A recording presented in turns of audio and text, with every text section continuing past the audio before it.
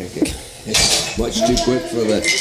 Oh, nice. Yeah, you see him nice. He's looking at the fireplace.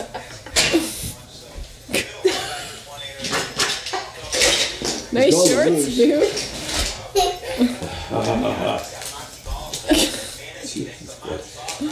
You have to use a flashlight. You sure your name's not Graham? yeah, I think it is. What is she dripping? Oh, she's ripping the paper out. Yeah, it's. I see. Francis, can I see your shorts and your shoes? Yeah, I've got more of them, so I'll bring one for you. Hugh, no, no, no, up there.